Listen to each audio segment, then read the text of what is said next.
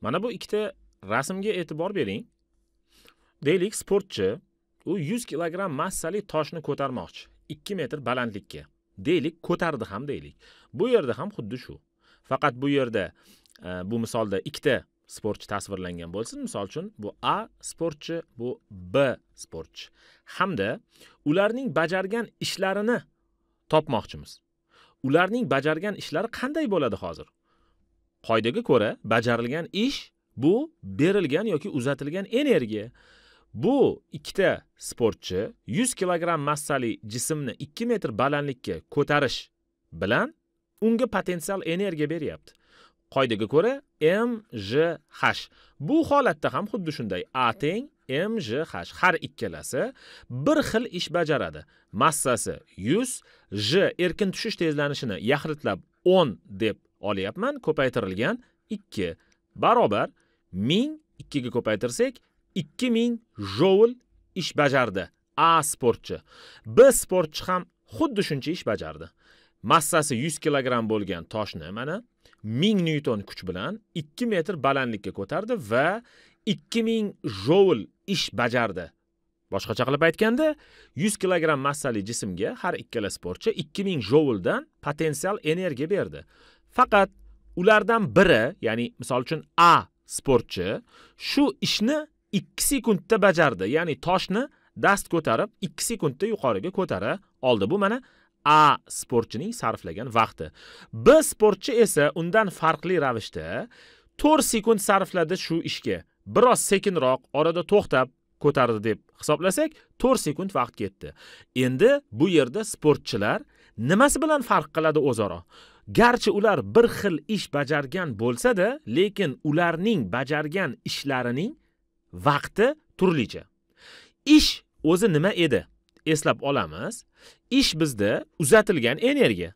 Demak, har bir sportchi, A va B sportchilar 100 kilogramm massali bir xil jismga 2000 jouldan potensial energiya berdi. Ya'ni 2000 joul ish bajarib, 2000 joulga teng bo'lgan energiyani uzatdi. Lekin ularning ish bajarish vaqtlari turlicha bo'lgani uchun ulardagi farq qiladigan fizik kattalik endi quvvat bo'ladi. Ya'ni ularning quvvatlari turlicha ekan. Xo'p quvvat nima? Quvvat bu ishning bajarilish tezligi hisoblanadi. Ya'ni quvvatning ishdan asosiy farqi ya'ni mohiyatan o'zi shundoq ham katta farq qiladi. Bu yerda ish bir xil bo'lgani bilan ishning bajarilish tezligi turlicha. Ana shuning uchun har ikkala sportchining quvvati turli xil ekan. Hozir formula yordamida hisoblaymiz mana bu yerda. Ko'rinib turibdiki qaysi sportchi ishni tezroq bajarsa u quvvatliroq bo'ladi. Demak a sportchining quvvati mana bu yerga yozib qo'yaman keyin alohida hisoblaymiz. A sportchining quvvati b sportchining quvvatidan kattaroq ekan. Qanchaga kattaligini endi ko'ramiz. Yana quvvatning nima ekanligini bilish uchun keyingi ta'rifga o'tamiz. Quvvat bu energiyaning qay darajada tez yoki sekin uzatilishi. Ya'ni ish bu energiyaning uzatilishi edi. Demak mana bu a sportchi 2000 joulga teng bo'lgan energiyani tezroq uzatdi. B sportchi esa sekinroq ko'proq vaqt sarflab uzatdi. Demak ularning quvvatlari turlicha ekan. Quvvat nima? Quvvat bu formula yozishdan oldin mana quvvat bu bajarilgan ishning qay darajada tez yoki sekin bajarilishi ya'ni vaqtga nisbati ekan. Boshqacha qilib aytganda quvvat bu bajarilgan ishning vaqtga nisbati. Mana bunday formula yordamida hisoblanishi mumkin quvvatlar. O'lchov birligi joul taqsim sekund. Birinchisi. Ya'ni sekundiga necha joul ish bajaryapti ishchi? Ana shu uning quvvatidir. Boshqacha qilib aytganda joul taqsim sekundni biz vatlarda ham yozishimiz mumkin. Mana vat shotland olimining ismiga qo'yilgan bu w harfi bilan belgilanadi. O'qilishi vat deb o'qiladi. Demak w bilan belgilanar ekan. Ana shundan ya'ni mana shu formuladan foydalanib a va b sportchilarning quvvatlarini hisoblab topamiz. N a. A sportchining bajargan ishi. 2000 joul ish bajaribdi u. Necha sekundda? 2 sekundda bajaribdi. Demak 2 ga bo'lamiz.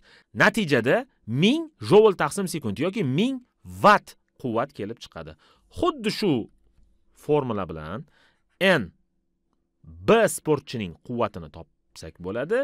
Ikki ming joul taqsim 4 sekund. Mana 4 sekundga bo'ldik. Endi bu yerda uning quvvati besh yuz vatt kelib chiqadi. Mana buning sportchining quvvati demak besh yuz vatt ekan. Bu degani bir sportchi har sekundda besh yuz joul ish bajara oladi degani. A sportchining quvvati esa 1000 vatt chiqdi. Bu degani a sportchi har sekundda 1000 joul ish bajara oladi degan. Demak a sportchining quvvati kattaroq ko'proq ekan. Mana bu misolga to'xtalamiz. 1000 kilogramm massali avtomobil tinch holatda turgan edi. Demak uning tezligi hozir ya'ni dastlabki tezligi v0 0 ga teng bo'ladi. U tekis tezlanuvchan harakatlanib 2 sekundda 5 metr taqsim sekund tezlikka erishdi. Avtomobil motorining ya'ni u dvigatel yordamida harakat qiladi motor yordamida harakat qiladi. Ana o'sha motor yoki dvigatelning o'rtacha quvvatini topishimiz kerak. O'rtacha quvvat qanday topiladi? O'rtacha quvvat. O'rtacha quvvatni topish uchun bajarilgan umumiy ishni sarflangan umumiy vaqtga bo'lamiz. Bajarilgan umumiy ish bu kinetik energiyaning o'zgarishi. Xususan mana avtomobilning kinetik energiyasi o'zgardi. Ana shuni vaqtga bo'lishimiz kerak. T ga. T umumiy. Ho'p kinetik energiyaning o'zgarishi qanday? Keyingi kinetik energiyadan m v bir kvadrat taqsim ikkiga teng bo'lgan keyingi kinetik energiyadan dastlabki kinetik energiyani ayirishimiz kerak. M v nol kvadrat taqsim ikki. Va ana undan keyin bo'lib yuboramiz vaqtga. Dastlabki kinetik energiya nolga teng chunki tezligi nolga teng. Mana bu nol bo'lsa keyingi kinetik energiyaning o'zi yetarli. M bizda ming kilogramm ming ko'paytirilgan tezlik besh beshning kvadrati taqsim mana bu ikki t ning oldiga tushib ketadi ikki ko'paytirilgan vaqtning o'rniga esa biz yana ikkini yozamiz. Natijada beshning kvadrati yigirma besh yigirma beshni mingga ko'paytiramiz. yigirma besh ming hamda uni to'rtga bo'lib yuboramiz.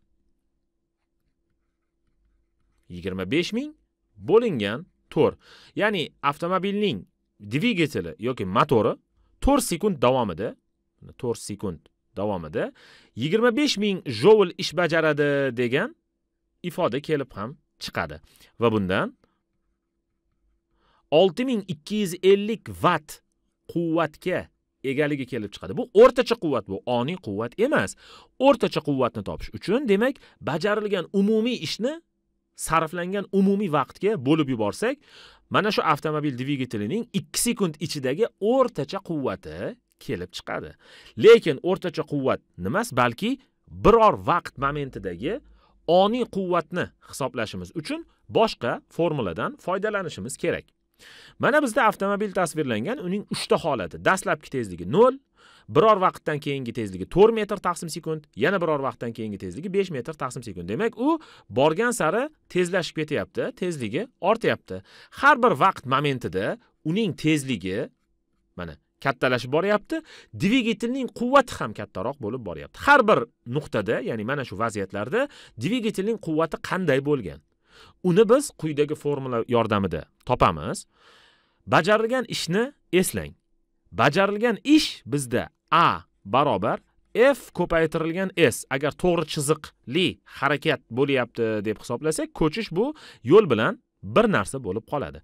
Endi mana shu bajarilgan ishni biz vaqtga bo'lib yuborsak nimani topgan bo'lamiz?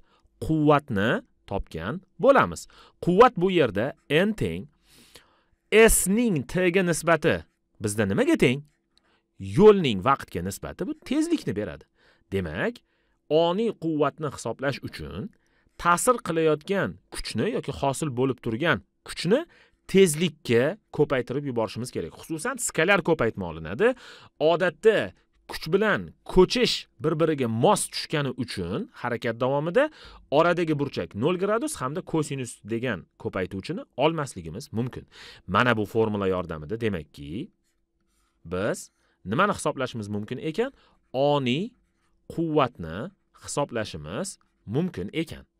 Endi shu avtomobilning oniy quvvatini hisoblash uchun bizda tezliklar bor lekin kuch yo'q f yo'q. F ni biz nyutonning ikkinchi qonuniga ko'ra hisoblaymiz. Dvigatelning quvvati ortib boradi o'zgarmas kuch ta'sirida. F barobar m ko'paytirilgan a avtomobilning massasi ming kilogramm uni ko'paytirishimiz kerak ikki metr taqsim sekund kvadratga va natijada ikki ming nyuton kuch kelib chiqadi.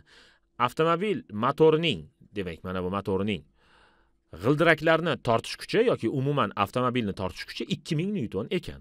Endi mana shu ikki ming nyutonni bilgan holda har bir nuqtadagi mana shu vaziyatdagi quvvatlarni hisoblab topishimiz mumkin. N nol barobar mana shu holatda ta'sir qilayotgan kuch nol. Yo'q ikki ming nyuton tezlik nol. Demak quvvat ham nolga teng ekan. Avtomobil tinch turganda hech qanday quvvatga ega emas ekan. Birinchi holatimiz n bir. Kuch ikki ming nyuton ko'paytirilgan to'rt barobar bu sakkiz ming yoki sakkiz kilovatt desak bo'ladi. Avtomobilning tezligi to'rt metr taqsim sekund bo'lib turganda uning quvvati sakkiz kilovattga teng bo'lar ekan. Dvigatelning quvvati. N ikki mana bu holatdagi quvvat. Tortish kuchi ikki ming nyuton tezlik beshga teng. Ko'paytma o'n ming o'n ming bu o'n kilovatt quvvat degani. Dvigatelning quvvati demak ortibdi.